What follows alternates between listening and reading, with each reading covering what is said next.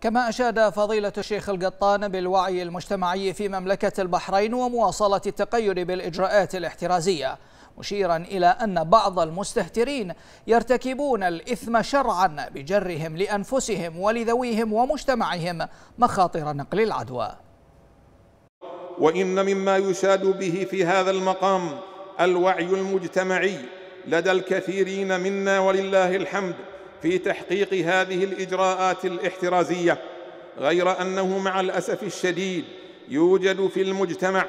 بعض المتهاونين المستهترين غير المبالين الذين يجرون لأنفسهم ولغيرهم ولمجتمعهم أسباب العدوى وانتشار الوباء تجدهم لا يأخذون التطعيم ويحبطون غيرهم على أخذه ويصرون على المخالطة وأمثال أولئك آثمون بتعريضهم الآخرين للمخاطر. ولهذا فإن الحزم مع هؤلاء هو الاجدى ولولي الأمر والجهات المختصة سن التعزيرات